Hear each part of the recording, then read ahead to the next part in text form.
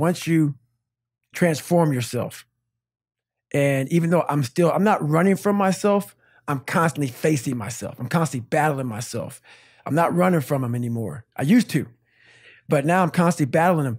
So now what happens is once you get to a point in your life where you're able to be on a podcast or be on a TV show and tell everybody how fucked up you are, I will answer any question you want about me. Anything I did, anything bad, good, ugly, I will tell you. When you get to that point in your life, that's where your real journey begins. And you no longer have to have a, a small victory to keep you going. You now realize what your purpose in life is. And you realize all this shit's just part of it.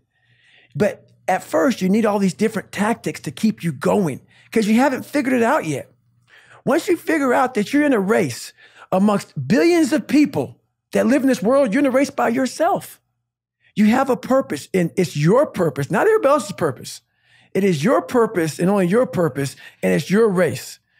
So then you're like, hey, man, I'm doing my thing. I'm doing the best of my ability. What's next? There's no longer these small increments to get through life.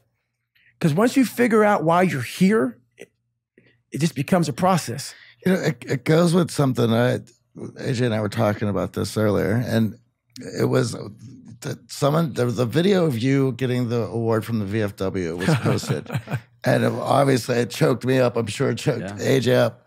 Um, and there was something that you said in there that was that I, I I just I loved, and I just I just don't obviously we don't see enough of it anymore. And, and what it was was that there's a uh, to to paraphrase it, a lot of people who live in this world who don't know what what they're doing in life, what's going on. They're asked from their elbow, and they got and they got nothing, and and they're confused, Right. right? And and they don't know what it's about, and but it's about doing it for the guy next to them, Right.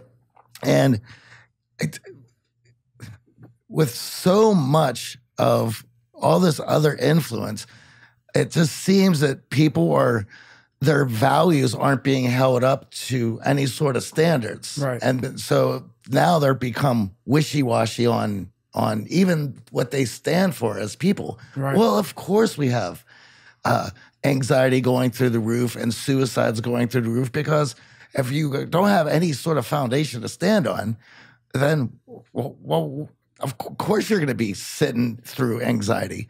And something as simple as do it for the man next to you, do it for mankind, do it for humankind. Right. It's it's, it's fantastic. I mean, would you be able to speak a, a bit about that? Yeah, that was a moment for me, the VFW where I got the Americanism Award.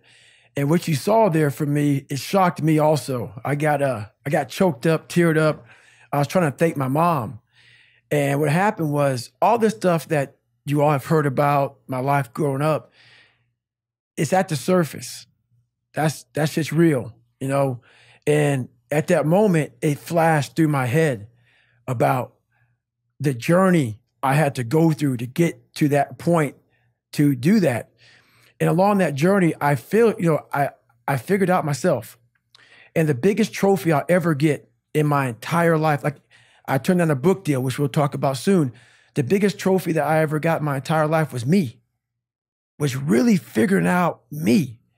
And when I was up on that stage, I realized that. I realized it's, it's not about money. It's not about fame. It's not about being accepted by your peers and everybody else. It's about figuring out who I am and being happy with who the fuck I am.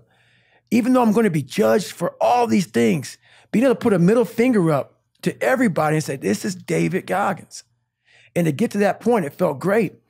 And that was all about, honestly, we have to give back. We have to be able to go through our journeys in life, figure out who we are, and help the person beside you figure that shit out. Figure out how they can do that themselves.